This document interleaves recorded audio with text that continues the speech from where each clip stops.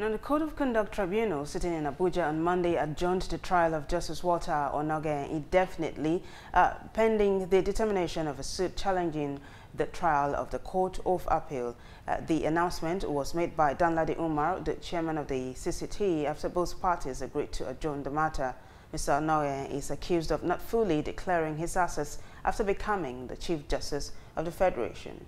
On 24th January, we were before the Court of Appeal and the Court of Appeal granted an order staying proceedings before this tribunal until the motion before the Court of Appeal is determined.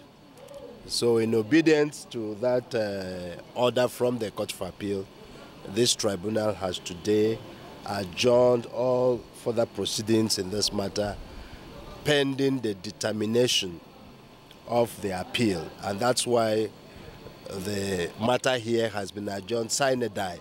That is until further notice, until we have uh, the Court of Appeal determine uh, the matter before it. Unfortunately, to going by the order made by this tribunal today, proceedings are stayed until the appeal is determined. So